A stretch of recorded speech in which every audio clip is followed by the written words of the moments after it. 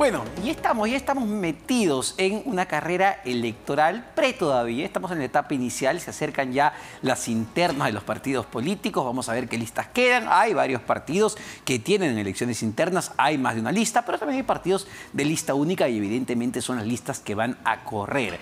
Tenemos ya conectados en la línea al candidato a la vicepresidencia por Juntos, precandidato para la vicepresidencia por Juntos por el Perú, el economista y ex viceministro además del ambiente José de Chávez. Señor de Chávez, ¿cómo está? Muy buenas noches. Buenas noches, Omar, y gracias por la invitación.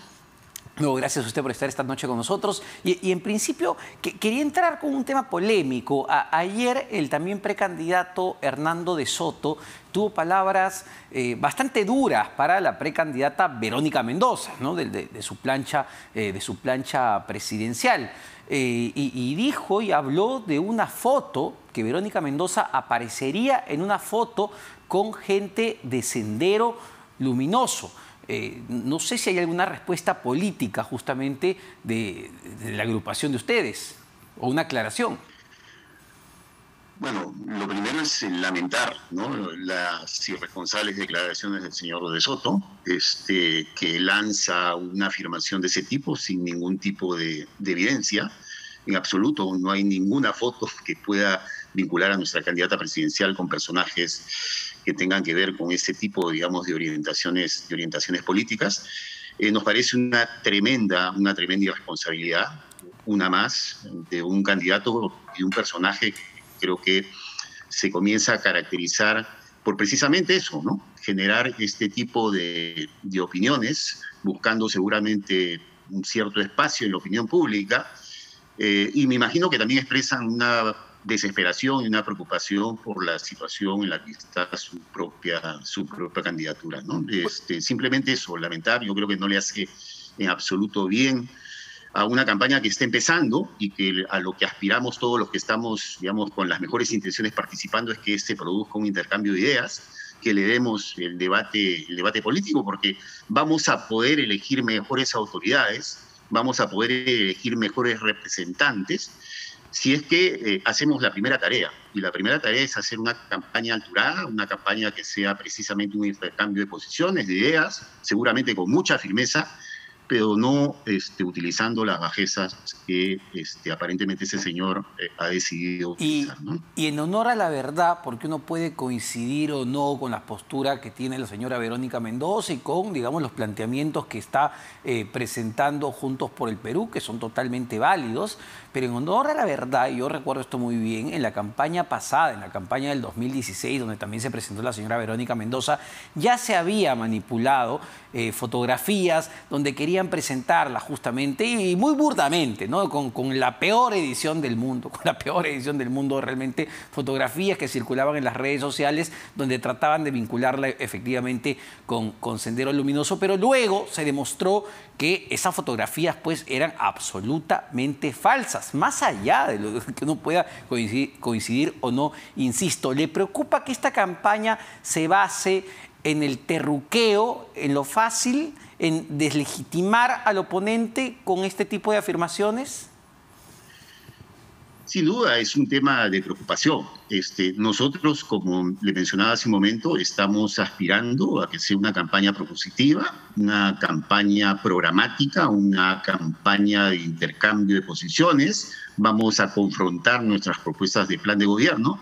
Esa es la idea, levantar el nivel político eh, y por eso vuelvo a la idea que ya le mencioné, es decir, si siempre nos quejamos de las autoridades que elegimos, si siempre decimos este Congreso es peor que el anterior, bueno, el primer paso que tenemos que hacer es precisamente desarrollar una campaña propositiva, una campaña que eleve el, nivel de la política y que produzca un intercambio programático de ideas. Y no llevar, dejarnos llevar a los escenarios que nos está intentando llevar este, este señor. Solo para aclarar, eh, estamos conversando, pero eh, en producción hemos obtenido y hemos colocado la foto, la supuesta foto que está circulando en redes e insistimos que es totalmente y absolutamente falsa con la peor edición del mundo. Ahí la pueden ver en pantalla. Esta foto es fake, esta foto es falsa, es totalmente falsa.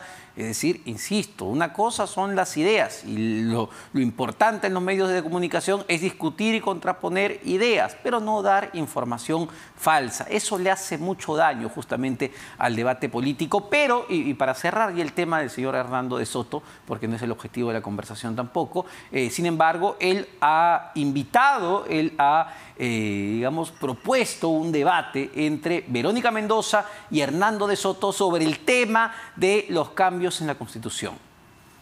¿Están dispuestos a debatir con él? Fíjese, Omar, este, vuelvo a señalar, digamos, la política es intercambio de ideas, la política es confrontación, es debate, más aún en una campaña electoral. Por supuesto que vamos a debatir no solamente con el señor Hernando de Soto, sino con los 21 o 22 candidatos que se van a presentar. Lo vamos a hacer no solamente una vez, lo vamos a hacer varias veces. Pero, a ver, ustedes creo que conocen mejor al señor Hernández Soto que, que, nosotros, porque además el señor Hernández Soto tiene un espacio en los medios de comunicación impresionante. Yo me imagino que la semana pasada el señor Hernández Soto se despertó, vio las encuestas, vio que estaba bastante rezagado y habrá dicho, bueno, ¿cómo hago para subir? ¿Cómo hago para recuperar espacio? ¿Cómo hago para convertirme en el candidato de la derecha que se enfrente a la candidata de la izquierda? Entonces, en sus, quiero decirlo con mucho respeto porque no quiero entrar al juego del señor Hernández Soto, pero ustedes lo conocen mejor que nosotros. En, sus aires de grandeza, el señor Hernández Soto ha decidido cómo, cuándo y dónde hay que debatir. El primer debate en tal sitio sobre este tema y con esta periodista que va a ser la moderadora. El segundo sobre este otro tema y en este otro sitio y el tercero, y así hasta, hasta el mes de diciembre. Este, nosotros insistimos, vamos a debatir con él y con todos los candidatos, este, pero no pues cuando se le ocurra a un señor. Yo creo que la primera gran tarea que tiene que hacer el, señor Hernando Soto es, en primer lugar, aprenderse el nombre del partido por el cual va a participar. Yo creo que esa es la primera tarea que tiene que hacer para comenzar a considerarlo como un candidato serio. ¿no? ¿Siente que se este, está colgando? ¿Se está colgando de Verónica Mendoza para subir en las encuestas?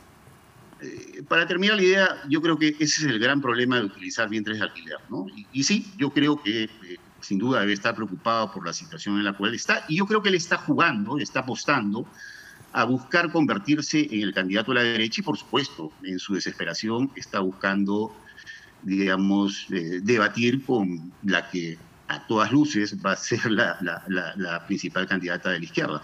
Vuelvo a insistir, vamos a debatir con todos los candidatos, ¿quién seguramente es el más de una vez. ¿Quién es el candidato de la derecha para usted en este momento? Eh, le doy una opinión personal, me, parece que es un espacio en disputa, ¿no? Este, si algo ha demostrado la crisis política de estas últimas semanas, lo perdió Keiko. hay varios espacios que están, hay, hay, varios espacios que están en disputa. Y yo me imagino que, digamos, la actitud que está teniendo el señor Hernando Soto en estos días es que es precisamente está buscando ocupar está buscando representar ese espacio. Y tiene todo el derecho a hacerlo, tiene todo el derecho a hacerlo. Lo que sí no tiene derecho es a utilizar, digamos, estos, estas, estas mañas para este, tratar de eh, ocupar un, mayor espacio y tratar de levantar en las encuestas. Pero bueno, es un personaje pintoresco, ustedes, repito, lo conocen mejor que, mejor, mejor que nosotros, Así que bueno, dejémoslo en su actuación y yo la verdad no le daría mucho, no le daría mucho espacio mucho interés. Y, bueno, desde, desde Acción Popular, no desde el partido necesariamente, pero sí desde la bancada de Acción Popular, que promovieron la vacancia del expresidente Vizcarra y colocaron al señor Manuel Merino en, la presidencia, en esta presidencia fugaz que tuvo, eh, han criticado no solamente a Verónica Mendoza, sino a Julio Guzmán, al expresidente Ollantumala, pero en particular a Verónica Mendoza, porque según ellos fueron los grandes promotores de la violencia en las marchas. Bueno, lo primero que diría es que esa es una falta de respeto enorme para toda la gente que salió a marchar, ¿cierto? Para todos los jóvenes eh, y, los no tan jóvenes que reaccionaron frente a un intento burdo, ¿no? Este, de parte de estas fuerzas políticas, estos 105 congresistas, que no hay que olvidarnos no solamente el nombre de ellos, sino de las agrupaciones políticas a las cuales representan. este, insisto, yo creo que hace una movilización legítima yo creo que ninguna organización política se puede arrogar, digamos, la convocatoria. Ha sido una reacción de la calle, ha sido una reacción de la gente, ha sido una reacción de esta denominada generación del Bicentenario, que ha tenido la capacidad de revertir la situación, a la cual, la crisis a la cual nos llevaron estas agrupaciones políticas, estos 105 congresistas y todas las fuerzas políticas a las cuales representan. ¿Y, cuál, cuál, digamos, cuál, cuál, es su análisis del momento actual en que vivimos? Porque, porque hay que entender esto más allá de los partidos políticos. ¿no? a mí me da la impresión, en mi humilde opinión, que esto trasciende evidentemente a las izquierdas, a los centros o a las derechas y a los de arriba y a los de abajo. Esta es una manifestación muy espontánea que se da y que realmente parece que no se va a calmar tampoco en el corto plazo y que va a estar muy vigilante durante las elecciones. ¿Cuál es el análisis que hacen desde Juntos por el Perú y si creen que el escenario electoral ha cambiado a partir justamente de que la calle se ha convertido también en un actor gravitante en este proceso? A ver, eh, lo primero, y estoy citando, no sé si textualmente, y le pediría disculpas si no lo estoy haciendo correctamente, eh, algo que escribió Juan de la Puente. Hoy en día, creo yo, lo que ha pasado en estas semanas demuestran claramente que la calle no es un problema, que la calle forma parte de la solución. Y si el señor Sagasti hoy en día es presidente de la República, es precisamente producto de la calle, producto de esa enorme capacidad que ha tenido la gente de salir, de rebelarse, de decir no acepto esta situación a la cual nos están llevando estos irresponsables y han buscado y se ha construido una salida que nos ha permitido, ojalá, voltear la página a una situación que se había tornado complicadísima y de esta manera poder encarar este proceso, este escenario de, transición con estos tres objetivos que ha mencionado el señor Sagasti, a, a, quien dicho de paso le deseamos el mayor de los éxitos, es decir, llevar adelante un proceso electoral transparente, con los mejores estándares, con transparencia total y absoluta, iniciar un proceso de reactivación de la economía, de mover un poco la economía tan golpeada y recuperar en algo, por ejemplo, la pérdida de puestos de trabajo. Son más de 3 millones de personas que han perdido su puesto de trabajo retos, este año 2020. Los retos y finalmente, sí. por supuesto, enfrentar la pandemia, que esperemos no haya una segunda ola. Entonces, yo creo que esos son tres elementos básicos que hay que respaldar y que hay que acompañar.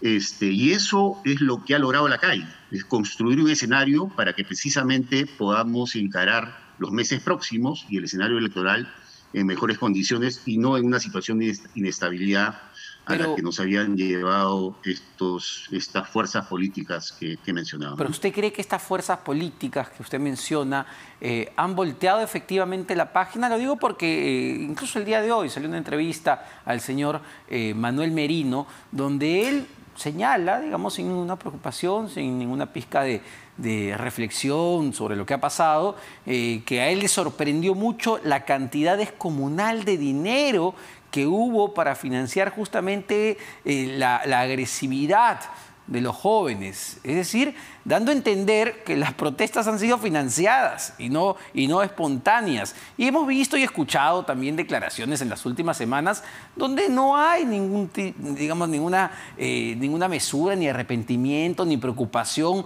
ni reflexión por lo que ha sucedido, ni por las muertes, ni por los más de 200 heridos.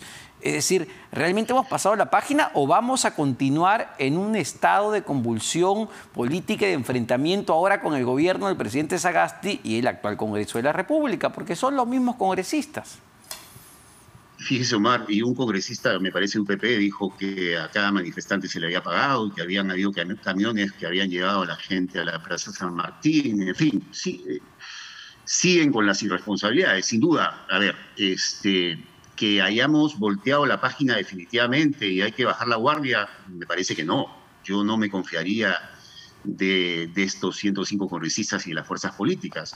Yo no me confiaría de lo que pueda decirle el señor Acuña al presidente Sagasti o lo que le pueda decir la señora Keiko Fujimori al presidente Sagasti o los señores de, de Podemos o los de UPP en ellos, pero así total de confianza, ¿no?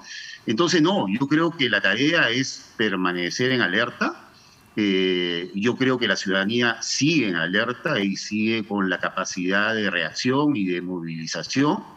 Y yo creo que a todos los que nos interesa encarar el proceso de transición de la mejor manera, sin duda, tenemos que seguir alertas porque ahí están, y ahí están en el Congreso, y ahí están también sus representantes políticos tratando de supuestamente conversar democráticamente y ofrecer lo que antes ya habían ofrecido y nunca cumplieron, ¿no es cierto?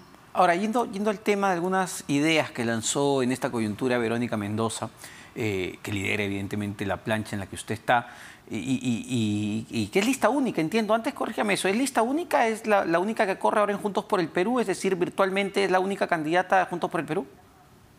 Eh, es, lista única, es producto de un acuerdo de Nuevo Perú, que es la organización política donde milita eh, Verónica, Mendoza con Juntos por el Perú. Como ustedes saben, en Nuevo Perú se, se, hicieron elecciones este, primarias este, y bueno, este, producto de ese proceso hemos ido a esta confluencia con Juntos por el Perú. Eh, es lista única. Entonces, virtualmente, Verónica Mendoza pues, es ya casi la, la candidata a la presidencia de la República por Juntos por el Perú. Y lo que dijo es una, digamos, un llamado para una nueva constitución. ella está de acuerdo de que la constitución del 93 se debe cambiar y me imagino que esto ha sido discutido a la interna del, del partido político y evidentemente con su, con su plancha presidencial. Entonces, lo que uno pregunta es, ¿qué en específico se busca cambiar? ¿no? Porque esto tiene que ser puesto al debate. ¿Qué es lo que Juntos por el Perú quiere cambiar prioritariamente de la Constitución? Y también tan importante como eso, ¿en qué momento y cómo hacer ese cambio? Eh, a ver, eh, lo primero es que yo entiendo perfectamente que todo este tema del debate en torno a la, en torno a la Constitución genera, genera polémica, genera inquietudes en diferentes sectores. Nosotros partimos de la hipótesis que estamos en un momento constituyente. ¿no? Este, creo que además, vuelvo un poco a, alguna afirmación que, que usted mismo ha, ha, señalado, nos da la impresión que esto no es solamente un tema de una organización política de izquierda, creo que esto ya forma parte de una agenda ciudadana.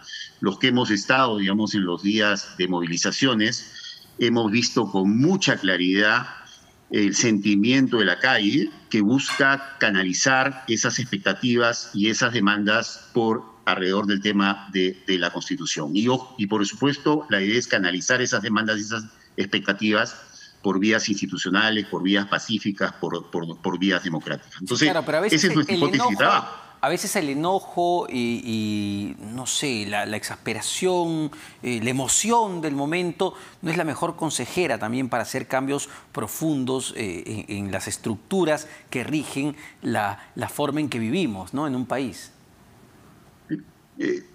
Eh, me parece, me parece que, lo que usted menciona también es una hipótesis de trabajo, pero nadie está diciendo que, que se tenga que hacer una constitución de la noche a la mañana, ¿cierto?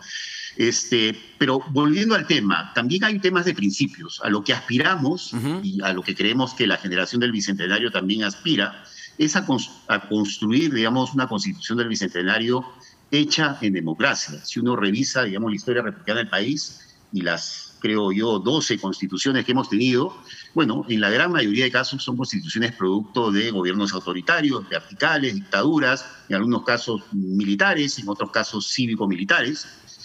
Y nosotros consideramos que el Perú se merece eh, una constitución hecha, eh, hecha en democracia. Ahora, eh, ya sobre los temas de fondo.